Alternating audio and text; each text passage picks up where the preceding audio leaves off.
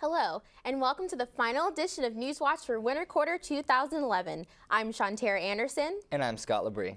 Coming up on Newswatch, find out which doctor has landed in hot water. Also, find out how union busting in Wisconsin could affect Ellensburg. All this and more coming up on Newswatch.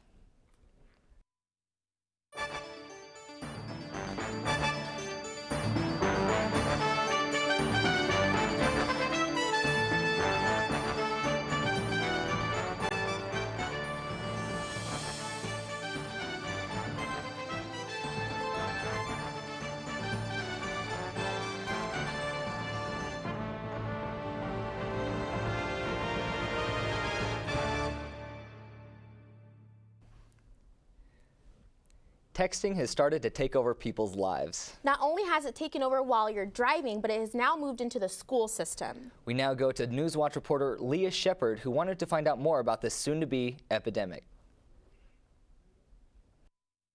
Hello, my name is Leah Shepard, and I'm reporting from Ellensburg High School. Even without cell phones, students are using the texting language in the classroom. Teachers are finding that students are taking shortcuts in their essays. For example, putting the letter U when referring to a person and not capitalizing the letter I when using it as a pronoun. Mrs. Rowden, English and Literature teacher here at EHS, marks these shortcuts as spelling errors in their essays. She doesn't, however, penalize them in their quizzes when they put the letters IDK when they don't know the answer. It wouldn't be a surprise if these students got more than a bad grade if they use this after they graduate. I'm Leah Shepard reporting to you from Ellensburg High School. New training in Kittitas County is keeping you safer along with keeping money in your pocket. The Kittitas County Law Enforcement will be receiving better training for a new shooting simulator. The Law and Justice Council recently purchased a surplus firearm simulator from the military. The council authorized up to $25,000 to acquire the training tool. After doing some research, the sheriff's office found the used simulator.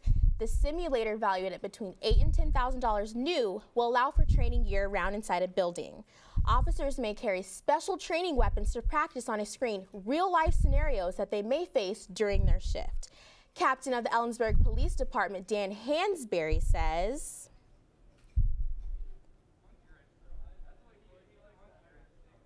uh, aside that we're just real uh, appreciative of the council providing the funds for that because I think it's going to be a, a real value training uh, for all law enforcement in the county. This is especially important in our county as it saves taxpayers money since no ammunition is required.